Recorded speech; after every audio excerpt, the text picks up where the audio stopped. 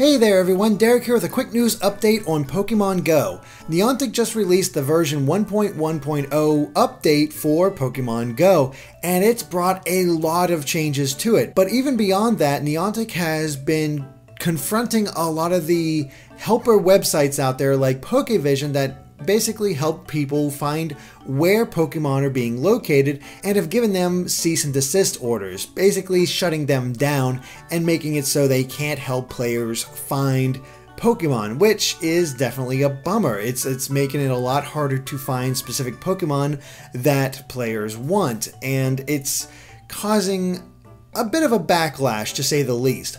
But what's not helping matters is the fact that this update has removed the steps from the nearby Pokemon list. There's no way to see exactly how close or how far each Pokemon is. You just have to so, sort of go based on the list, and the one on the top left is still the closest, but now you don't know exactly how close it is, just that it's the closest one.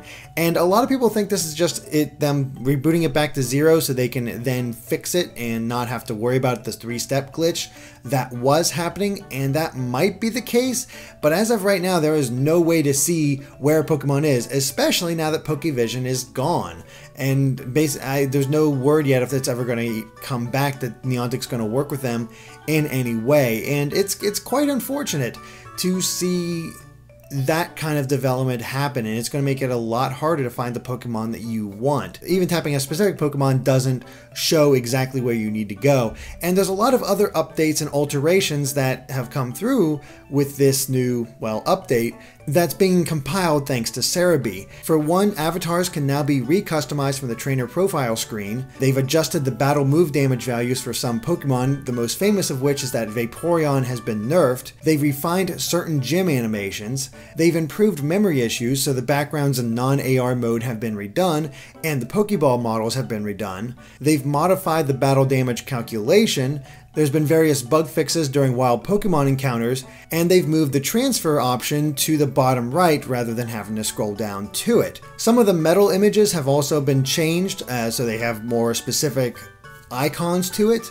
Uh, they fixed issues with displaying certain map features, parks, and non road paths have returned. One of the bigger changes that they've had that a lot of people are not ha happy with is that they've removed the experience bonuses for nice, great, and excellent captures. Timing no longer seems to have any kind of effect.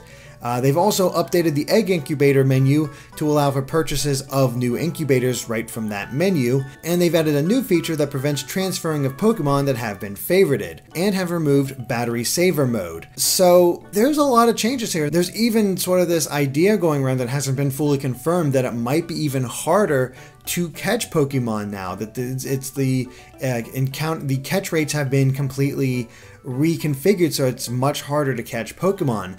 It's all kind of unconfirmed at the moment as far as that's concerned, but everything else has been basically confirmed, and a lot of these changes aren't that great. So we'll have to see what Niantic does from here to see if they improve it more or go back on some of these changes or exactly what they do with the game.